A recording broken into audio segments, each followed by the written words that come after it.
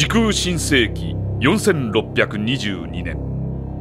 人類とマザーブレイン軍との戦いは小型戦闘機ネオシーザーの活躍により人類の勝利に終わった。星々は光を取り戻し宇宙には再び平和が訪れた。しかし全ての人々が平和を感じていたその時宇宙の片隅でマザーブレインの細胞が少しずつ確実にその力を取り戻そうとしていた。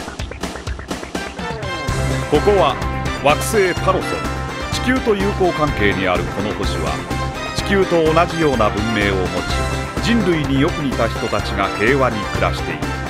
そしてこの星はマザーブレインとの戦いの場所に一番近い惑星でもあっ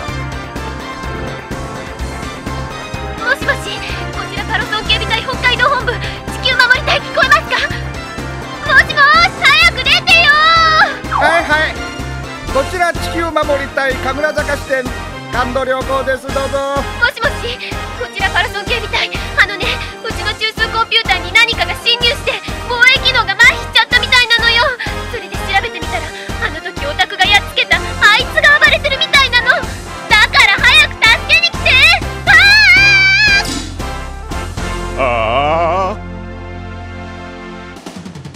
というわけでこの事態を重く見た地球守り隊ではパロソンに向けて至急援軍を送ることとなった。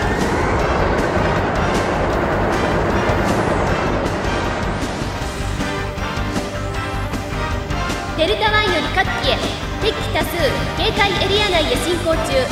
スクランブル部隊発進スタンバイ。